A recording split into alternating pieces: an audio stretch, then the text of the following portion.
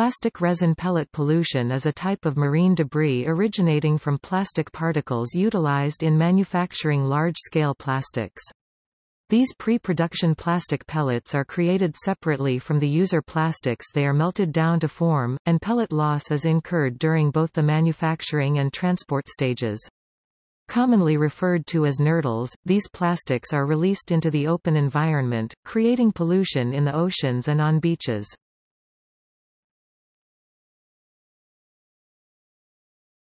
Topic. Description Plastic resin pellets are classified as primary source microplastics, meaning that they were intentionally produced at the size ranging from 1 to 5 mm in diameter. Approximately 60 billion pounds 27 million tons of nurdles are manufactured annually in the United States. One pound of pelletized HDPE contains approximately 25,000 nurdles approximately 20 mg per nurdle. They are typically under 5 mm 0.20 in in diameter.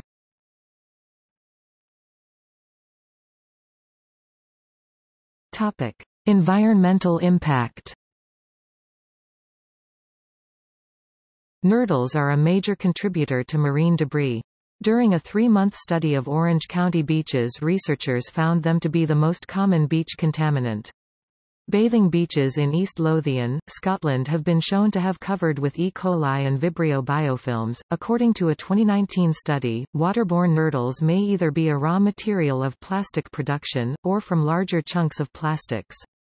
A major concentration of plastic may be the Great Pacific Garbage Patch, a growing collection of marine debris known for its high concentrations of plastic litter.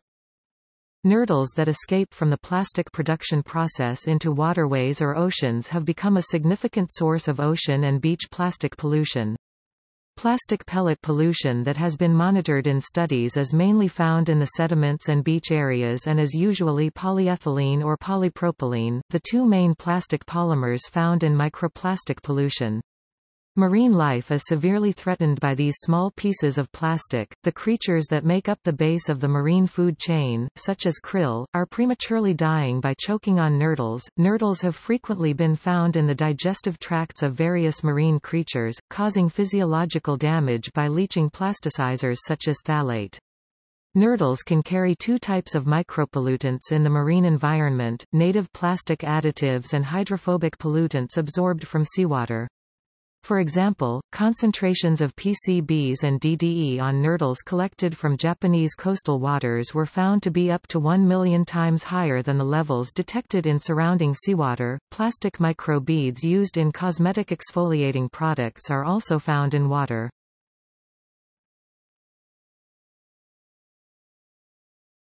Topic: Incidents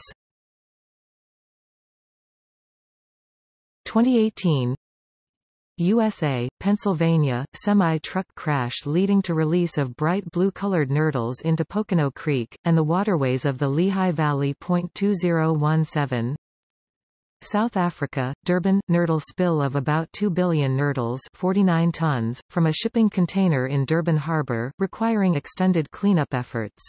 The South African Association for Marine Biological Research has sent out an urgent appeal for beach users along the entire South African coast to try and assist in collecting as many of these nurdles as possible. These nurdles have also been spotted washing up on the shore in Western Australia, UK. The Great Nurdle Hunt Occurring from June 2 to 5 th. 2017 across the United Kingdom drew attention to the issue of plastic pellet pollution.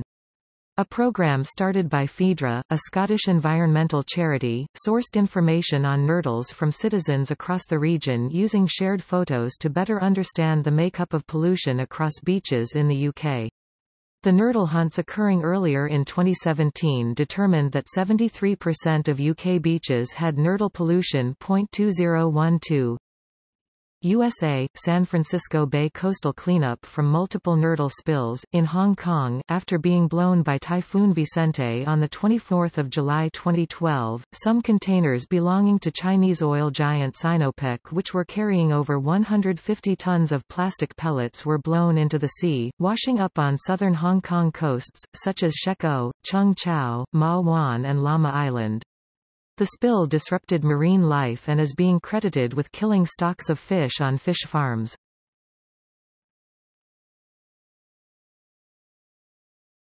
Topic. Current progress and solutions The plastic industry has responded to the increased interest and concern for plastic pellet loss and pollution sources. Operation Clean Sweep was created by SPI, the Plastics Industry Trade Association in 2001 and joined by the American Chemistry Council with the goal of zero pellet loss for plastic manufacturers. This voluntary stewardship program provides its members with a manual which guides them through ways in which they can reduce pellet loss within their own facilities and provides the necessary training. In 2008, California passed a nurdle law, which specifically names pre-production plastic pellets nurdles as a pollutant.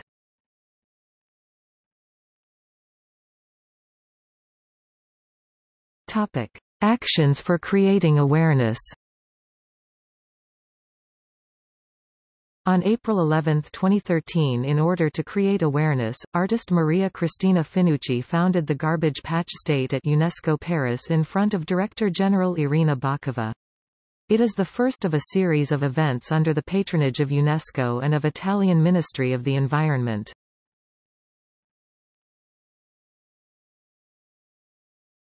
Topic. See also